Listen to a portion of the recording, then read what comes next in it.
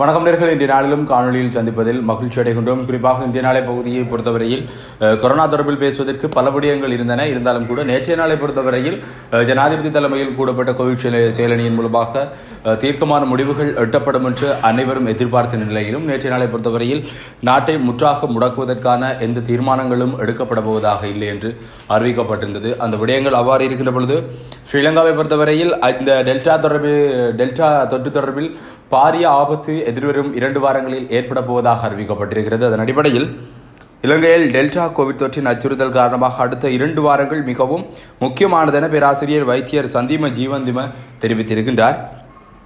அதோடு தற்போது தான் இலங்கையில் டெல்டா தொற்று ஆரம்பமாகியுள்ளதாகவும் அவர் குறிப்பிட்டிருக்கின்றார். இதன் கொடூரத்தன்மை எதிர்வரும் நாட்களில் எதிர்பார்க்கலாம் என்றும் அவர் தெரிவித்திருக்கின்றார்.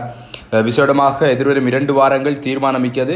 வூகான் மாறுபாட்டை விடவும் இரண்டு மடங்கு இது பரவும் என்று அவர் கூறியிருக்கிறார் ஐந்து நொடிகளேனும் முகக்கவசத்தை அகற்றினால் அந்த காலப்பகுதியில் தொற்றாளர்களாகுவோம் என்றும் அவர் எச்சரிக்கை விடுத்திருக்கின்றார். இந்த சந்தர்ப்பத்தில் பரவலை தடுப்பதற்கு உடனடியாக முக்கியமான நடவடிக்கைகளை ஸ்ரீலங்கா அரசாங்கம் மேற்கொள்ள வேண்டும் என்றும் அவர் தெரிவித்திருக்கிறார் ஆகவே பாருங்கள் ஐந்து வினாடிகள் முகக்கவசத்தை நாங்கள் கலட்டினால் பொது வழியில் நாங்கள் தொற்றாளர்களாக அடையாளப்படுத்தப்படுவோம் என்று கூறுகின்ற அளவிற்கு இந்த தொற்று மிக வீரியமாக ஸ்ரீலங்காவில் பரவிக்கொண்டிருக்கிறது என்று இந்த பேராசிரியர் தெரிவித்திருக்கின்றார்.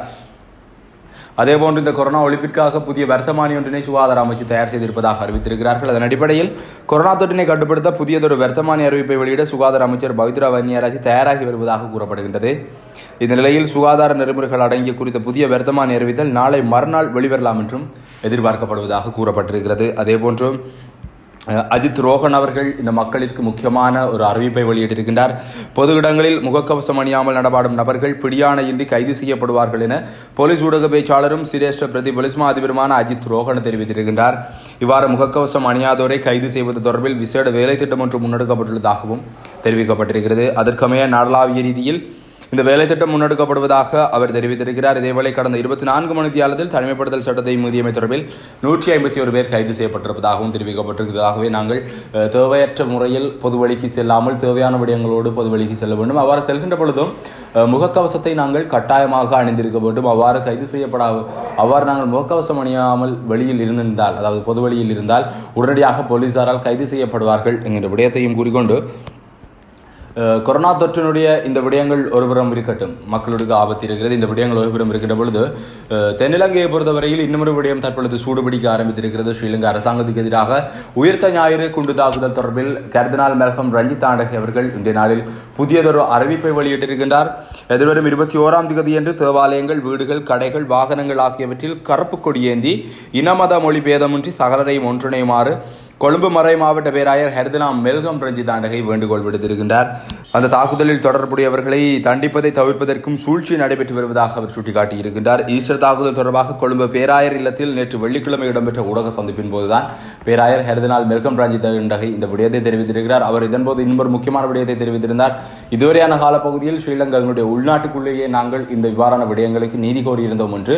இனிவரப்போகின்ற நாட்களில் சர்வதேசத்திடம் இது தொடர்பிலான விசாரணைகளுக்கு நீதி கோரப்போவதாகவும் அஹ், கர்தினால் மெல்கம் ரஞ்சித் ஆண்டகை கூறியிருக்கிறார். குறிப்பாக தற்பொழுது ஆட்சியில் இருக்கக்கூடிய ஸ்ரீலங்கா அரசாங்கத்தை ஆட்சிக்கு கொண்டு வருவதற்காக முறுத்தொட்டுவே ஆனந்த தேரர் அதேபோன்று கர்தினால் மெல்கம் ரஞ்சித் ஆண்டகை போன்றோர் மிக பாரிய அளவில் மக்கள் மத்தியில் அதிகம் பேசப்பட்டவர்களாக இருந்தார்கள் என்பதையும் நாங்கள் இந்த வேளையில் சுட்டிக்காட்டிக் கொண்டு கேரளா கடற்பரப்பில் விடுதலை புலிகளுடன் தொடர்புடையவர்கள் என்ற சந்தேகத்தின் பேரில் சிலர் கைது செய்யப்பட்டிருக்கின்றார்கள். அது தொடர்பில் இந்திய நாளில் அதிக அளவிலான ஊடகங்களில் சமூக வலைத்தளங்களில் அதேபோன்று இணையதளங்களில் செய்தி வெளியாகிக் கொண்டிருக்கிறது. அந்த விடயங்களை பார்ப்போமாக இருந்தால் கேரள கடற்பரப்பில் இலங்கை படகொன்றிலிருந்து துப்பாக்கிகள் மற்றும் மூன்று ஆயிரம் கோடி ரூபாய் பெறுமதியுடைய ஹெரோயின் போதைப் பொருள் கைப்பற்றப்பட்ட சம்பவத்துடன் தமிழீழ விடுதலை புலிகளின் உறுப்பினர்களுக்கு தொடர்பு உள்ளதாக இந்திய தேசிய புலனாய்வு பிரிவு தெரிவித்துள்ளதாக தகவல் வெளியாகி இருக்கிறது கைப்பற்றப்பட்ட ஐந்து ஏகே நாற்பத்தி ஏழு துப்பாக்கிகள் மற்றும் மூன்று ஆயிரம் கோடி ரூபாய் பொரு மதிப்புள்ள ஹெரோயினுடன் சென்னையில் வசிக்கும் இரண்டு தமிழீழ விடுதலை புலிகளின் உறுப்பினர்களுடன் தொடர்பு இருப்பதாக தெரிய வந்திருக்கிறது.